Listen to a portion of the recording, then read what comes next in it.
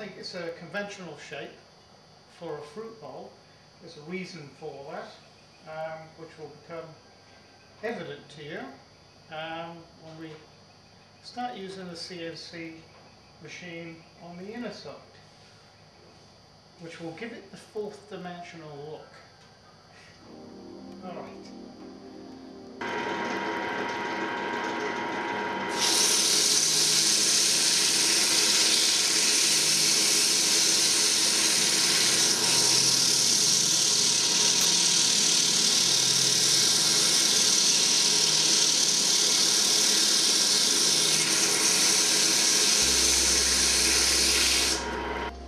Okay, I'm uh, reasonably happy now with that. So this is what the sort of thing you end up with after um, taking it off the lathe and I've done quite a bit of sanding on the lathe as well. And now it's time to scallop out the inside with the CNC machine and give it that 4D look. Okay, so we've um, we've got to the stage now where we can scallop the inside out and make the fourth dimension uh, part of this bowl. Um, now what I need to do first is, uh, because this is a circular object, we uh, do things a little bit differently. If you remember, if it's um, uh, a normal piece of work that we put on here, any other shape other than a circle, uh, we start at uh, the front side uh, left edge or corner, uh, which is our, our start point for the program. Uh, in this case with circular uh, objects, it's the dead center. So what we do is we zero the computer in the dead center of the material. So that's what we're doing right now. I'll just mention at this stage, it's probably good work practice as you're using the pendant to orientate the pendant and yourself in front of the machine and operate it from there because you can actually get confused if you're coming from one side of the machine and start operating the, the, the pendant. You can it's possible to forget yourself and uh, go the wrong direction.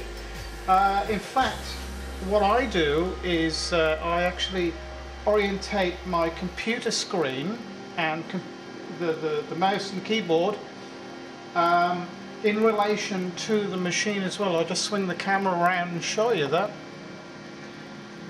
See it's orientated in the same direction so there's less likelihood of um, actually making mistakes. So uh, having said that I hope I don't make a mistake now. Now here we go. So we'll just center this zero it. I'm using a nice, just a nice pointy tool there to give me the, like a, a, a marker. Take it down a little bit. Forward. Okay. Happy with that. Happy with that. Not only have I got a little pilot hole drilled in the center to indicate the center to me, uh, I've actually got, I don't know whether you can, the camera's picking that up, I've actually got uh, penciled lines on there giving me the center as well. I did that to be able to find the center to put the faceplate for the lathe on there. Okay, so I'm just centering the X and Y at the moment. Just X, Y, because this is slightly raised here that I'm going to manually, with the machine, machine this off the same height as this, and then I shall zero the the uh, Z axis, then off to the one side here. I've actually got this um, connected to the machine. I put double-sided tape on the base of it, double-sided tape around the edges, and I've used um, these metal plates and gaffer tape uh, to hold it down. The trick is a little bit at a time.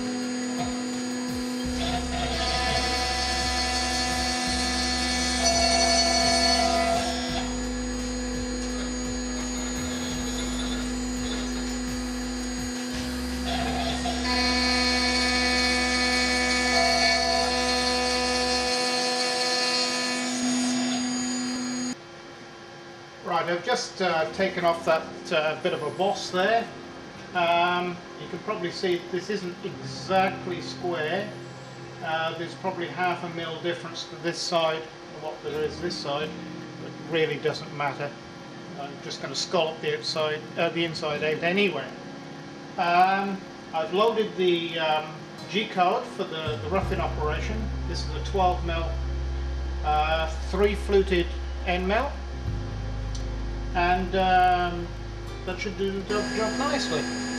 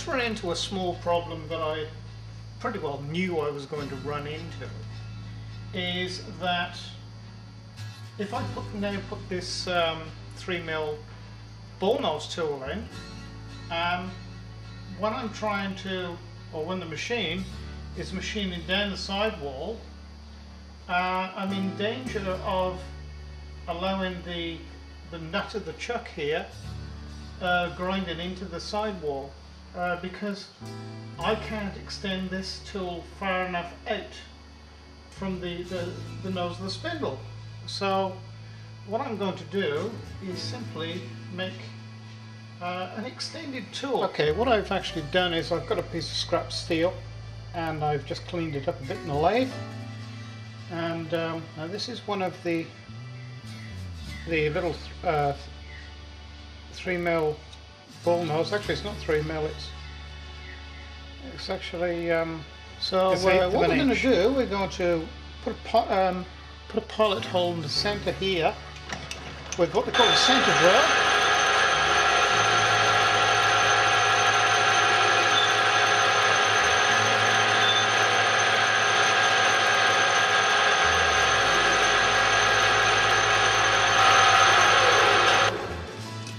Okay, you'll notice that I've gone slightly over size.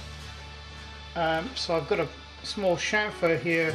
Um, the reason for that is when I attach this to the inside of it, uh, when I've drilled it out, um, I'm going to um, either silver solder or or solder um, this into this. Um, it just gives an area for the molten metal to pool and gives a better grip. So um, we'll drill it out and get on with that.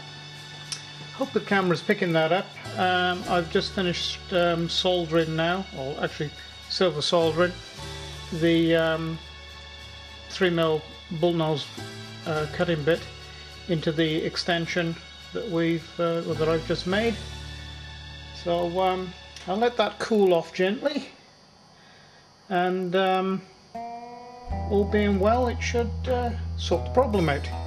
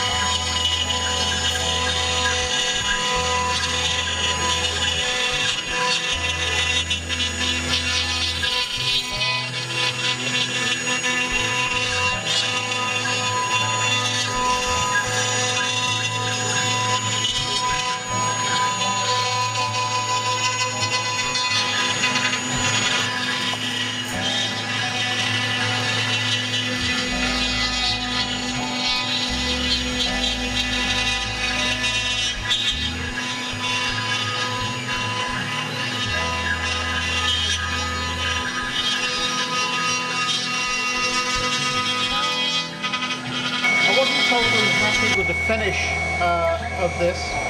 Uh, it's left it a little tiny bit furry here, here, and on the back of here. Might have been because of vibration, um, not really sure. So what I've done is I've reprogrammed to recut this um, 90 degrees out of phase. So in other words, instead of coming back and forth running uh, in the X direction, Uh, it's running in the Y direction and doing, doing the same cut.